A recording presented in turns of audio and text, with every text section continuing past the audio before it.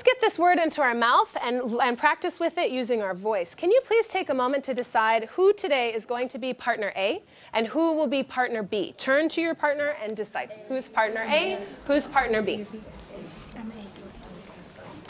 This happened telepathically. You didn't have to talk.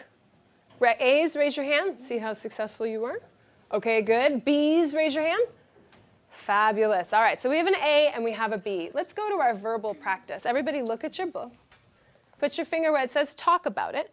And let's read that first sentence. Read each sentence. Jamie, start it out. Read each sentence and think about how you would complete it. Thank you. Continue, Javier. Discuss your idea with your partner using the sentence frame. Wonderful. Oscar, continue. Listen carefully to your partners and classmates ideas. And the last sentence, Melvin. Write your favorite idea in the black. Great. So when we do our verbal practice, let's remember First, we talk a little about the sentence and we get comfortable with how we need to complete it correctly. Then we're going to turn to our partner and there will be a lot of talking and then we're going to share, again, a lot of talking. We won't write anything down until the very end, okay? So why don't you go ahead and put your pen and pencil down and let's look at the sentence frame together, the first sentence frame, and we'll take a look at how what we need to do to complete it correctly. The sentence reads People often write letters and emails to newspapers and magazines to give their perspectives on what? Now I look at this word and I notice it's plural. I see the S on the end.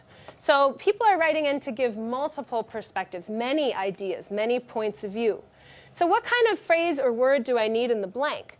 Well, I'm going to need a plural noun. I need a plural, okay, that is going to complete this correctly. So people often write letters and emails to newspapers and magazines to give their perspectives on what? All right, so now I have to think to myself, well, what do people write in a, to magazines or newspapers about? Hmm.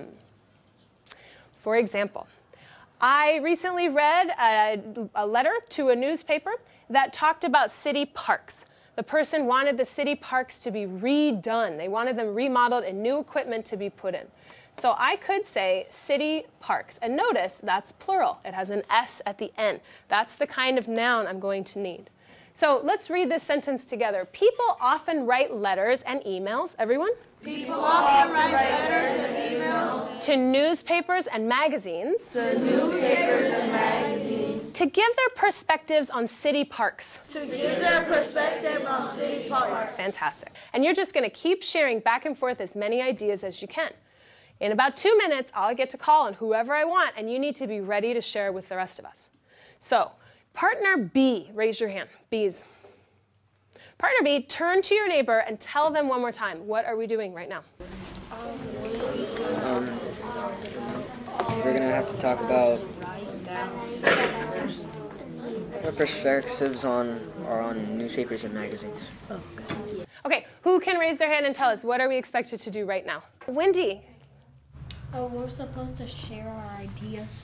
Yes. Share your ideas talking to your partner, right? Back and forth, back and forth, back and forth. Are you we writing anything down right now? No. no. So just go ahead and put your pencil out of your hand, all right? Can you please turn to your partner? And if your partner B, you can start the conversation. People often write letters and emails. Partner B. Their perspective on what's going on in the world, like wars. Um, people often write letters and emails to newspapers and magazines to give their perspectives on global warming. Often write letters and emails to newspapers and magazines to give their perspectives on broken down no, on cracked sidewalks and magazines to give their perspectives on letters and emails to jobs. People often write letters and emails to newspapers and magazines to give their perspective on local stores. To newspapers and magazines to give their perspective on. I like how you made that plural. Excellent. Nice job. All right, so I'm going to call on partners to share. I'll start the conversation with one person, and then we're going to popcorn. So, for example, if I call on Ronnie, Ronnie is going to use his very best public voice to share his answer. And remember what a public voice is, everyone. This is louder than your usual voice and just a little bit slower, right? So, really making sure that everybody in the room can hear you. When Ronnie's done sharing his answer, he gets to look around the room and he's going to popcorn to another person of his choosing. So he gets to pick. The only trick is, is since Ronnie is a boy, he has to call in a girl. And a girl has to call in a boy. If you're a boy, you must popcorn to a girl. And again, if you're a girl, you're going to popcorn to a boy. All right? Are there any questions about how we're reporting out? Okay. I am going to nominate Nielsen to get us started. Nielsen, wait just a second, Nielsen, and then we're going to ask you in a nice public voice, sit up straight, look smart. Tell us your answer. People often write letters and emails to newspapers and magazines to give their perspectives on TV shows. Wonderful.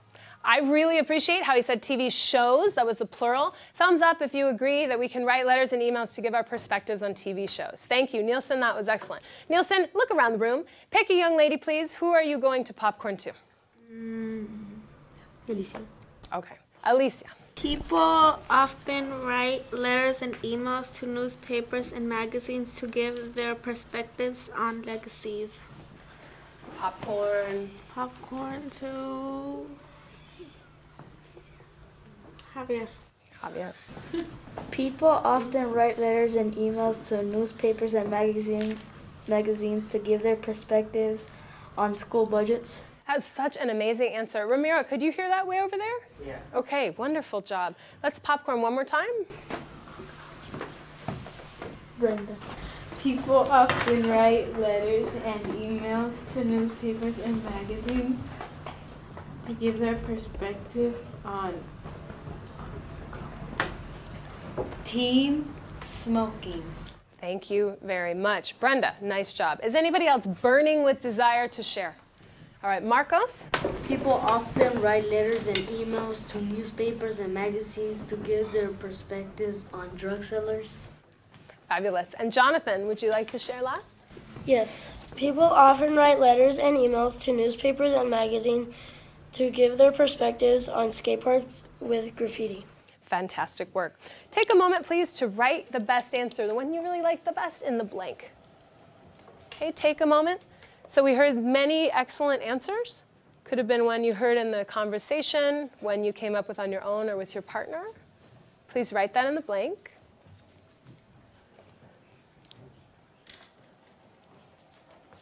Nice job, Javier.